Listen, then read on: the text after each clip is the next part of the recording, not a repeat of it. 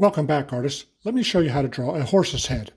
I'm going to use my pen, but you use a pencil so that you can erase the lines at the end of it all. First, make a half circle like this. Now extend the bottom line like this. What will be the top of the head and the neck, make lines like this. Add on the nose, mouth, and chin like this. Put on a big eye like this. Put on a pair of ears like this.